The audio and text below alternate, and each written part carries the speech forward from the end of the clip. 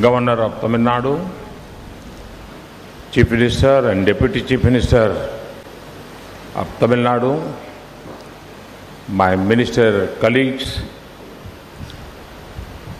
Dr. Shantaji, other distinguished dignitaries on the dais, ladies and gentlemen. On the upcoming occasion of the Vilambi Tamil New Year on April 14th, I extend my warm greetings to all Tamil people across the world. I'm happy to be at Cancer Institute, Adyar. This is one of the oldest and most significant comprehensive cancer care center in India. Changing lifestyles are adding to the burden of non-communicable disease. According to some estimates, non-communicable disease now account for about 60% of the total deaths in our country.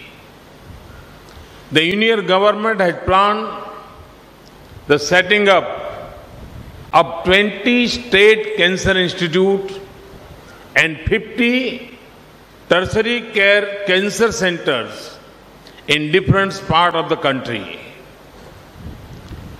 Proposals can be approved for eligible institutions up to rupees 45 crore for setting up of tertiary care cancer center and up to rupees 120 crore for setting up of state cancer institute. I am happy to note that proposal for setting up of 15 state cancer institutes and 20 tertiary care centers have been approved so far. 14 new All India Institutes of Medical Science are being set up with focus on oncology in its various aspects. Under Pradhan Mantri Swasthya Suraksha Yojana, eight existing institutions are being upgraded with provision of oncology services. The National Health Policy of 2017 underlines the importance of preventive health care. Under the comprehensive primary health care aspect of Ayushman Bharat, we will provide preventive and curative services at primary care level at people near their homes.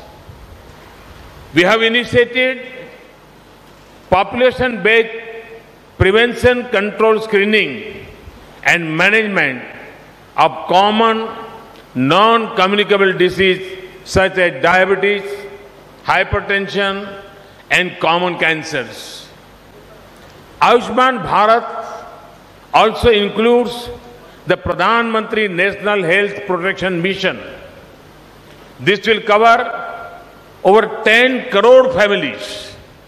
About 50 crore people will be benefited through this mission. Insurance coverage up to 5 lakh rupees per family per year for secondary and tertiary care hospitalization will be provided under this mission. This will be the world's largest government funded healthcare program.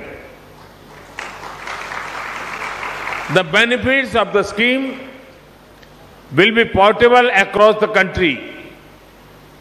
People will be able to get benefits in both public and empaneled private facilities. The scheme intends to reduce out-of-pocket expenditure on health. To prevent, control and manage disease like cancer, we need action from all sections of society, including NGOs and private sector. The Cancer Institute, WIA Chennai, is a voluntary charitable institution founded by a group voluntary women social workers under the inspiring leadership of the late Dr. Muthu Lakshmi Reddy. The institute started as a small cottage hospital. It was the first cancer specialty hospital in South India and the second in the country. Today, the institute has a cancer hospital with 500 beds. I am informed that 30% of these beds are free beds, which means patients are not charged. The molecular oncology department of the institute was designated a center for excellence in 2007 by the Union government. It was the first super specialty college in India established in 1984. These are pioneering and praiseworthy achievements. Dr. Shanta, in her opening speech, spoke about the difficulties being faced by the Institute. I would like to assure her that we would look into them and I would also request the Chief Minister of Tamil Nadu to see what can be done.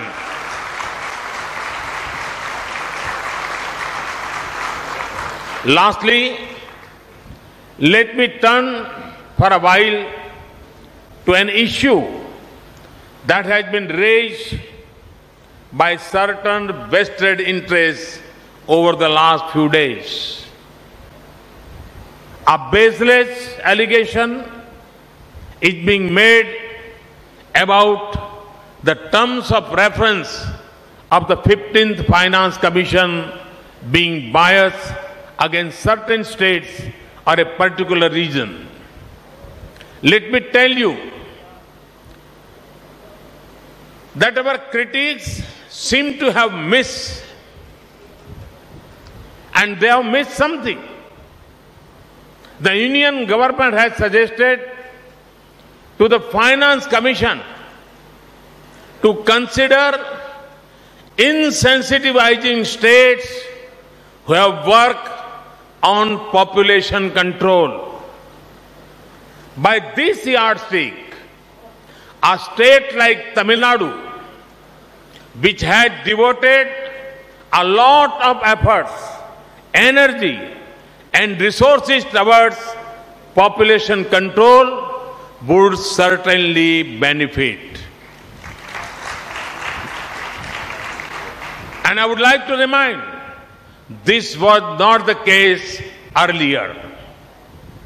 Friends, the union government is committed to cooperative federalism.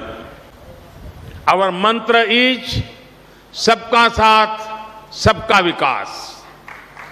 Let us all work together to build a new India which would make our great freedom fighters proud.